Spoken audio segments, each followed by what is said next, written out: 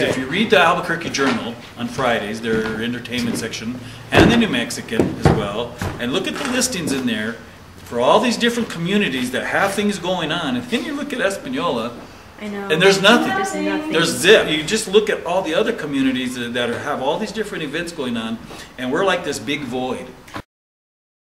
The bulk of these artists or musicians are from here. They're going somewhere else to do their work. They- And I'm going crazy not doing theater or, you know, having to go far distances. Oh the opportunities are there. You just got to let them do it. You know, just stand out of people's way and let them do what they need to do. I mean, how many times have we been doing stuff here and people just show up and say, Yeah. you do the art, right? I brought some art. They're all here. They just don't have the opportunity. Yeah. It's that give the people the opportunity and they will rise to the occasion.